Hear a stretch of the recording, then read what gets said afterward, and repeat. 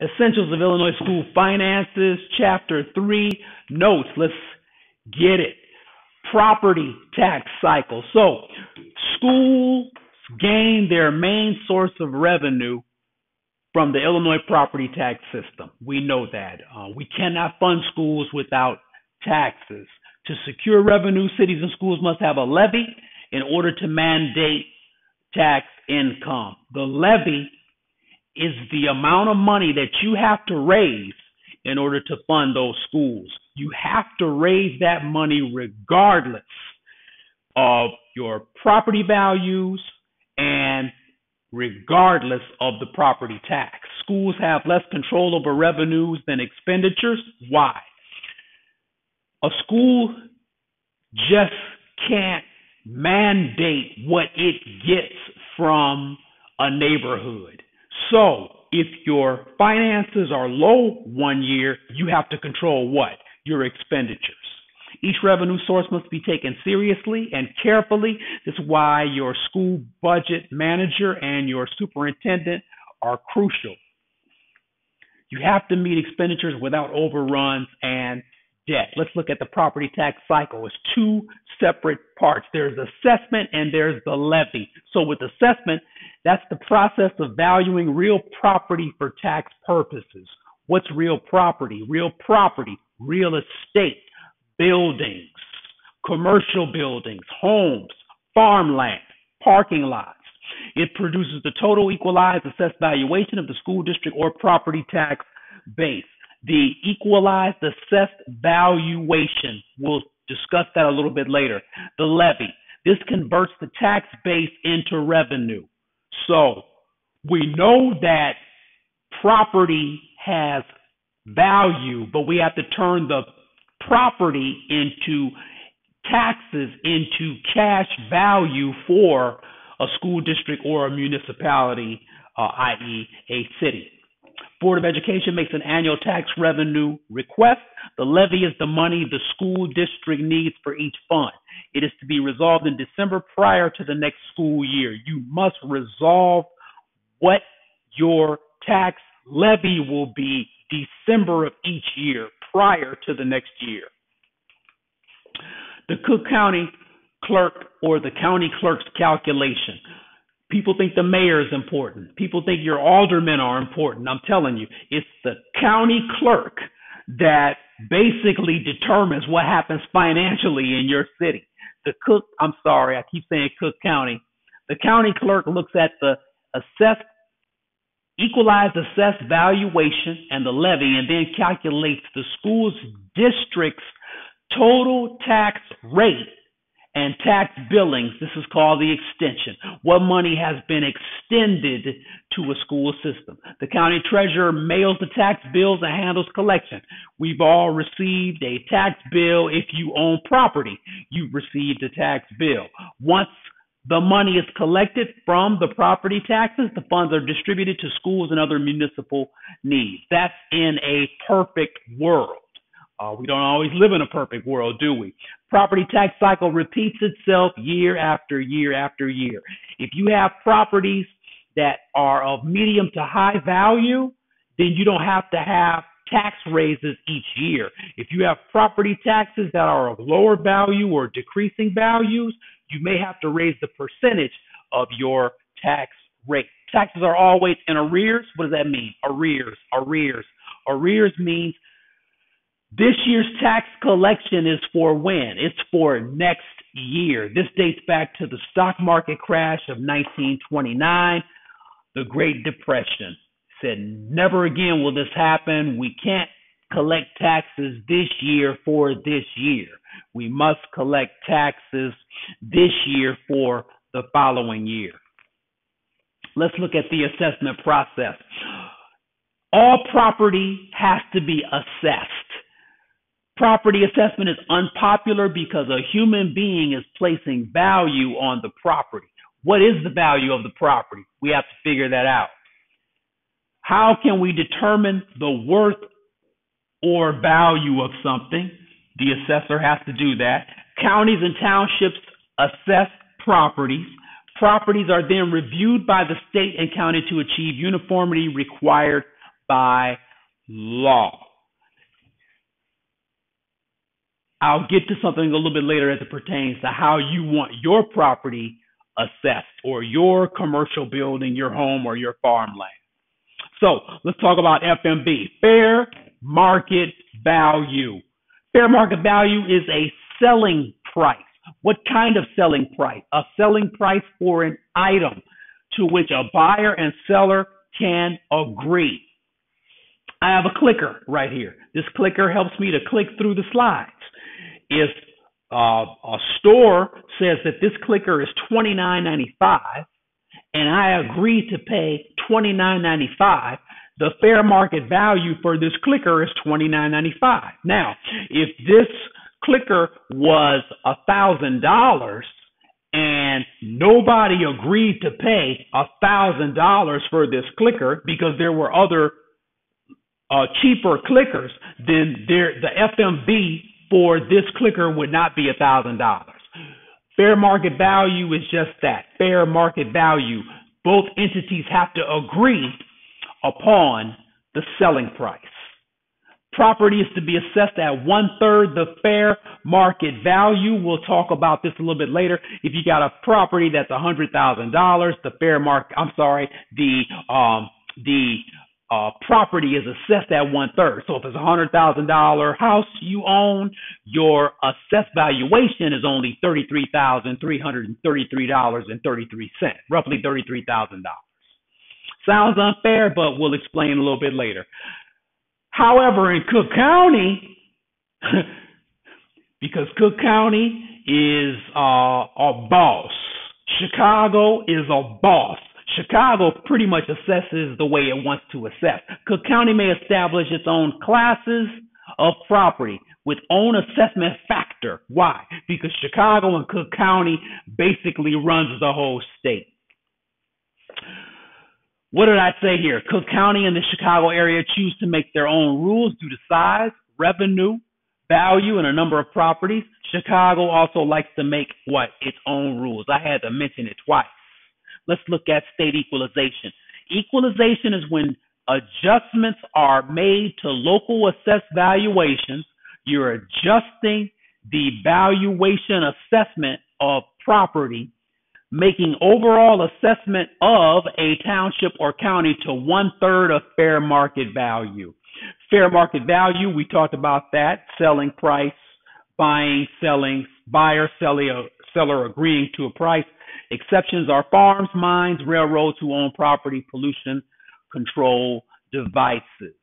All right. These are things, entities that must exist. So, and uh, these are things that also aren't necessarily bought and sold on a daily basis. Assessor responsibilities. Assessor. Get to know your county assessor. Arguably, as I mentioned before, the most powerful person in your city and county. Assessors only have to view and determine by estimate the value of each property. They can say, they can look at your house and just say, that's what that house is worth. Seems unfair, doesn't it? They use shortcuts most of the time. What kind of shortcuts? Secondary information, past values, what did it cost yesterday? What did it cost 10 years ago? Stated values. What did somebody say that it is worth? Comparable home sales. Uh, are there, is there a house on your block? Is there a house three blocks away? Is there a house a half mile away similar to your house that went for a fair market value? Whatever those houses sold for, your house should sell for. The assessor is going to use a comp for that and other determiners of value, including subjective matters and gentrification. I get a little upset sometimes, so just bear with me. I wear my heart on my sleeve. Drive by observations.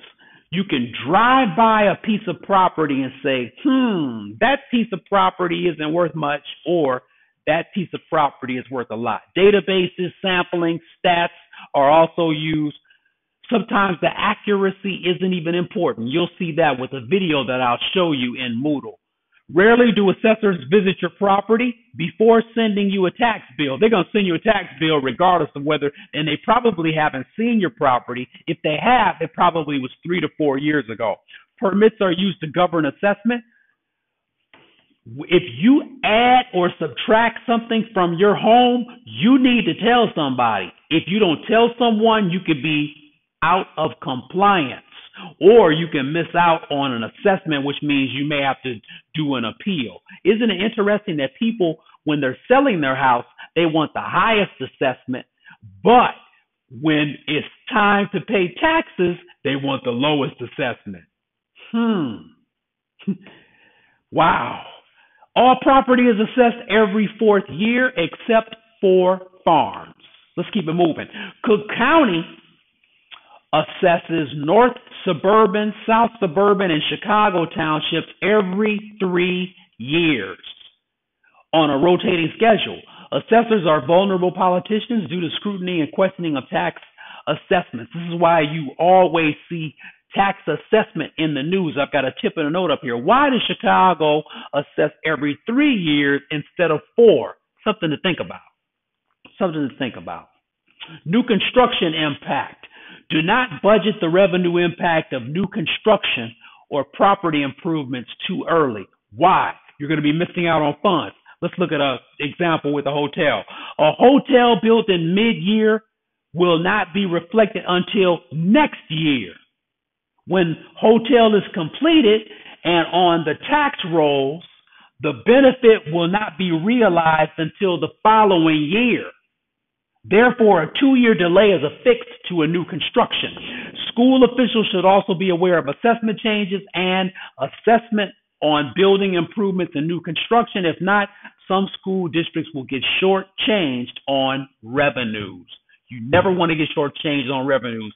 This is why superintendents, school boards, and business managers in a school district have to pay attention to what the buildings look like, the new construction, and the property values of those buildings nearest the schools. Let's look at business property. Business properties are taxed differently due to construction cost, sales, data, and occupancy. The value of an income property is determined by dividing the annual income to owner by market interest rate as more stores occupy a new shopping area and rental income increases, the assessed value should also increase. Let's look at continued business property. Some businesses try to what? Hide or mask their increased revenue occupancy. Why would they do that? The revenue, the occupancy hidden, or rental and leases, so that their assessed valuation remains stagnant. I got so excited I flipped the slide. Many will write letters to the Property Tax Appeals Board to increase or decrease their assessment depending on what their need is. Everyone wants the highest assessment when selling and the lowest when buying or currently owning. Farmland, minerals. Farmland's assessed yearly, every year. Why? The value is based on agriculture, output, income, as opposed to fair market value. You don't necessarily look at an acre of land and say, that's what that land is worth. The question is, how much can that land yield? Are there soybeans? Do you have corn on the crop? Uh, are you using the land to raise livestock? All right, so uh, it's assessed a little differently. Appeal, AV or assessed valuation, a process where a property owner requests an adjustment or an assessment. That's the appeal. AV or the assessed valuation is the taxable value placed on the property by the local assessor. There's that assessor word again. Very important person in your city. Distribution, payments of taxes by county to schools, equalization. These are the adjustments made to local assessed valuations to bring one third fair market value to all of the properties. Equalized assessed valuation is a property's valuation after county and state equalizations are performed. The extension, that's just the money that's raised through the tax rate. By calculation. The multiplier, we'll get into this a little bit later on this semester, but the multiplier is also known as the EQ factor, equalization factor. It is applied to counties' total assessed valuation to equalize it to one third fair market value. You're going to keep seeing one third fair market value, one third fair market value. What does that mean? I got a hundred thousand dollar house. You're telling me the FMV or the assessed valuation of one third is only thirty three thousand dollars. Dr. McClendon, how can you make my $100,000 house only worth $33,000? Well, if I had to sell your house today, I probably couldn't get a 100,000 for it. But the state knows that with the one third fair market value, if I had to sell a $100,000 house today, I probably could get $33,000 today for that house. What do you think? You know I'm right. Let's keep it moving. Review. Oversight of an assessor's valuations by county agency. Tax base, the cap, and the tax rate. Tax base. We talked about it earlier. Total equalized assessed valuation of a school district. The cap, also known as PTEL, is the property tax extension limitation law. What does that mean? It's the tax cap. If people are being taxed too much in their district, you could put a tax cap or a PTEL on the district to take the stress off of the taxes in that particular neighborhood or particular county. So let's say my people in my city have been taxed 3% every year, 3.1, 3.2%. We vote for a tax cap. Boom. Put the tax cap on it. You get 2%. I say I want taxes capped at 2% for the next five years. Now, the upside is that the citizens who are paying taxes are relatively happy because their taxes haven't gone up. You're paying 2% on your property for the next five years. The downside is that you're not able to raise as much revenue because you've capped the tax at 2%. It's got an upside, it's got a downside. Let's go to tax rate. Uh, property tax extended expressed as a percentage of the EAV. Rural school districts can be affected by a slow crop year. We talked about that. Agriculture and livestock. Problems of the tax cycle. There can be delays in payment. The more properties you have in a county, the more difficult it is to, to collect taxes on time. How about that? Payment dates are also problematic because county installments are due April 1st. 55% of last year's total tax bill. Second payment is due a few months later. If taxes are collected later, the levy can be inflated to cover significance of late payments. Pay attention to your politicians, your assessor, your mayor, your alderman, etc., to make sure that, that, that your neighborhood isn't being cheated. And then make sure that your neighborhood and the neighborhood schools aren't being shortchanged. Here's a slide of um, Table 3 in your book, The Seasons of the Property Tax Cycle. Here's the tax increment financing. TIFs are used to stimulate redevelopment of designated areas for commercial or residential use. The property tax growth increment goes to infrastructure for development. Let me give you an example. It's a little bit easier to um, understand. So, a plot of land worth $100,000 may be purchased to build a store. So once the store is built, the property may be worth a half a million dollars. Now the taxable amount is on the $400,000 value increase of the property. A portion of this goes where? To the TIF fund, special allocation fund, and to the municipality and the neighborhood and neighborhood schools. The increased taxes from the store are shared as well. Upside of a TIF, upside. Or uh, you've redeveloped the land, the land value increased, and you can tax on that land and put it into a TIF that's going to go to neighborhood schools. The downside is that many times the TIF goes through what? The equalized assessed valuation is frozen for up to 23 years. So this is delayed gratification. Property value decrease it's evident. If property values decrease, you must raise the tax rate to garner the same amount of tax money. Example, 5% on $50,000 houses is $2,500. Okay?